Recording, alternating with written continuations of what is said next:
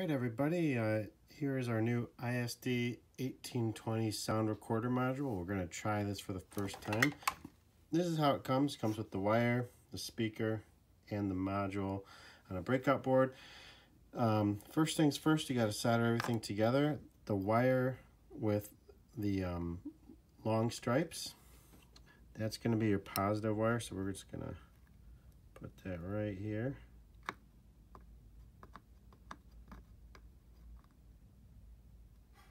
Then the one with the negative wire just has the very faint little dots on it.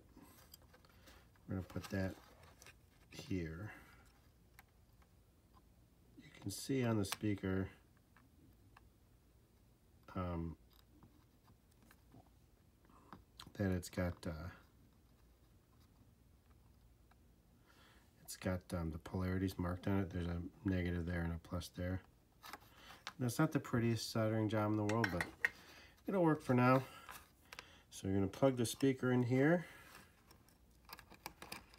And then I've got uh, 5 volts of power um, off of a USB here. So positive goes to VCC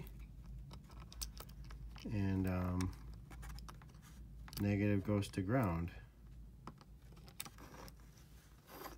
Okay, let's test it out. Oh, I think you gotta hold it down. Testing, testing, one, two, three. Testing, testing, one, two, three. Cool, it works. Testing, testing, So it looks like this one here in the middle, testing, testing, one, two, three. it plays the whole thing, and the one on the right here, Testing, it just, uh, testing, testing, one, two. It only plays while you're holding it down. And we were told that it would this module would give us about um, 20 seconds of recording time. So let's see. I'm going to start now. Okay.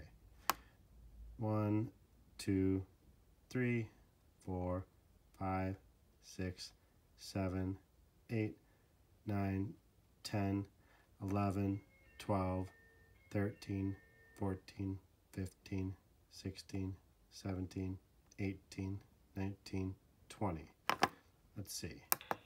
One, two, three, four, five, six, seven, eight, nine, ten, eleven. Okay, actually it actually doesn't do 20 seconds. It sounds like it does only 11 seconds. Well, there you go. Now we know. Anyway, that's our new ISD 1820 voice recorder module. Hope you enjoyed the video. Thanks.